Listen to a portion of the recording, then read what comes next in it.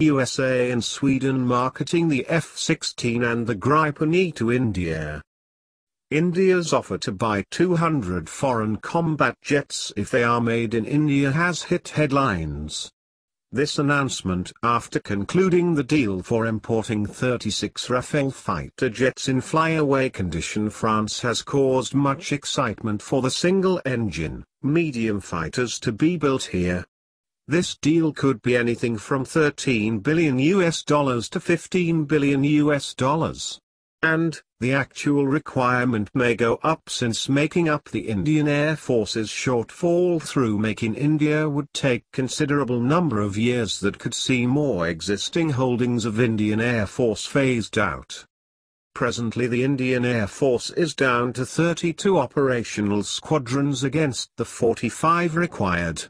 Though Indian Air Force has ordered 140 of the indigenous single-engine fighter Tejas, only two have been delivered to date to Indian Air Force and there are multiple issues that still need to be overcome.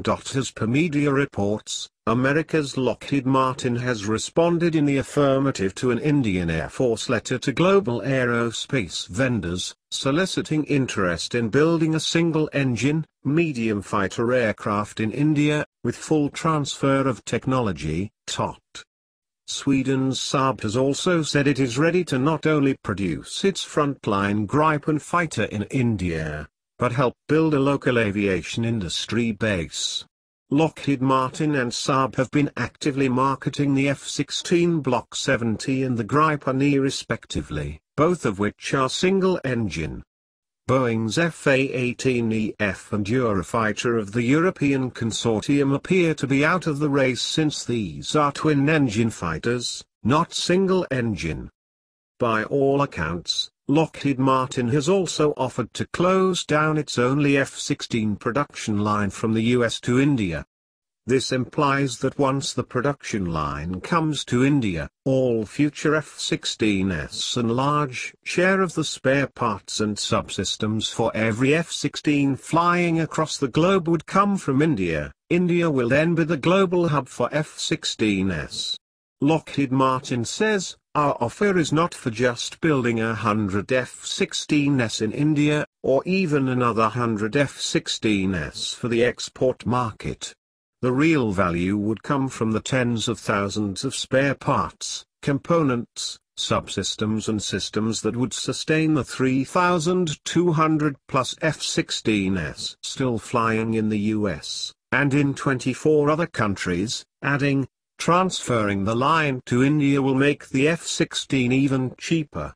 And that will bring in even more export orders.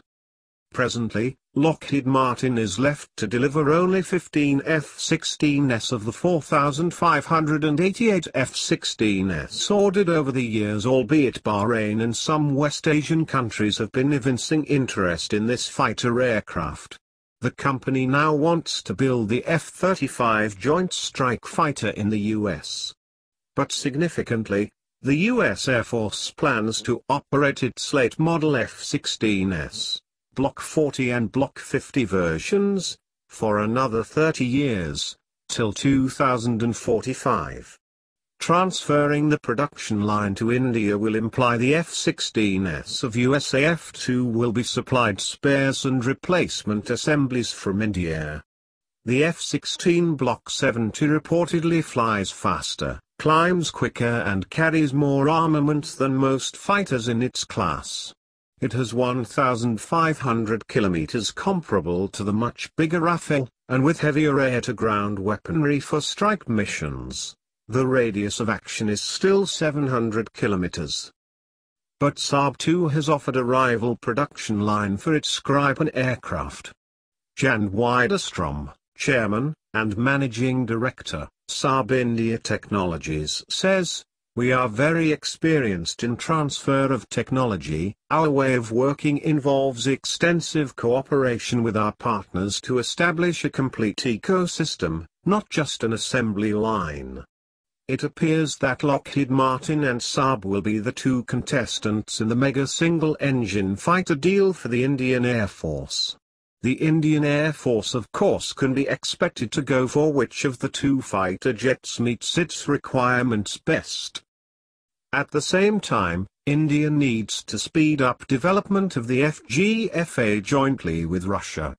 In February, India and Russia had revived talks on the delayed FGFA project after the defense minister approved the deal. The fifth-generation fighter jet will be on par with the capabilities of Russia's Pak-F-A-T-50 aircraft, a fifth-generation fighter, but since the jet will be designed over the next few years, it is likely to exceed in some specifics, better than Russia's Pak-F-A-T-50. According to Sergei Chemezov, CEO of Russia's Rostec State Corporation the agreement has been completed on our end, we are ready to sign it. It is now down to the Indian side. There are some formalities to figure out, but I think it will be signed by the end of this year. He added, the FGFA project will produce a state-of-the-art fighter jet, and it will be the result of the work on Russia's most modern technology done by both Russian and Indian engineers. As fifth generation, it means fifth generation speed, ballistics and military equipment, avionics and stealth capabilities among other qualities. India and Russia have already inked military deals worth Rs 60,000 crore during the BRICS summit held in Goa.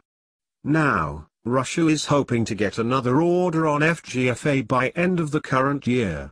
Under the new offer, India will need to contribute 3.7 billion US dollars instead of 6 billion US dollars towards technological know-how and some three prototypes of the fighters during the recent India-Russia Intergovernmental Commission on Military and Technical Cooperation co-chaired by Defense Minister Mohan Bhagat and Russian Defense Minister Sergei Shoigu the FGFA project and upgrades of Su-30 MKI aircraft in service with the Indian Air Force were discussed.